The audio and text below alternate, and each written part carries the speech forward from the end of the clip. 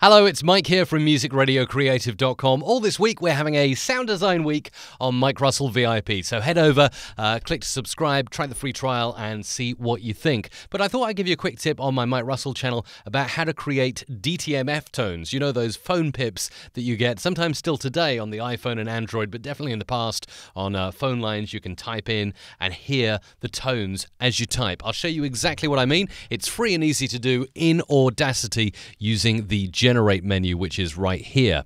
Uh, head for DTMF tones, and you can type in your favorite radio station frequency. Mine is 1027, radio station I used to work on. The amplitude, so uh, you can make that obviously to be as high as possible at 1, or you can have it at half the volume, 0.5.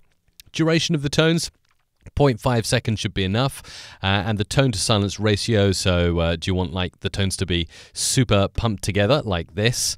like nothing, essentially. That's not really what you want. So you obviously want to have a little bit of tone to silence. So in the middle, it's going to leave a little bit of tone, a little bit of silence, like this.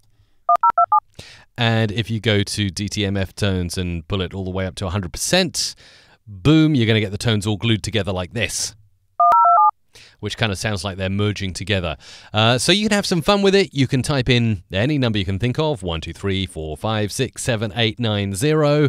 Uh, and you can even click preview here if you wish. The manage button as well allows you to save presets as well. So if you find something you particularly like that works for you, save it as a preset. I'll click OK on this, maybe make the tone uh, an amplitude of 1 to show you the difference. And duration, it's changed to samples there. Let's go for seconds and let's go for for, uh, say, one second for each of the tones. There it is, one second already in. Click OK, and here we go.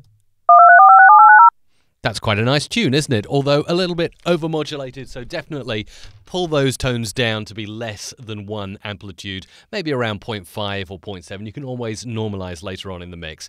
I hope you enjoy generating DTMF tones in Audacity, and if you want to learn sound design in Adobe Audition, head on over to Mike Russell VIP now.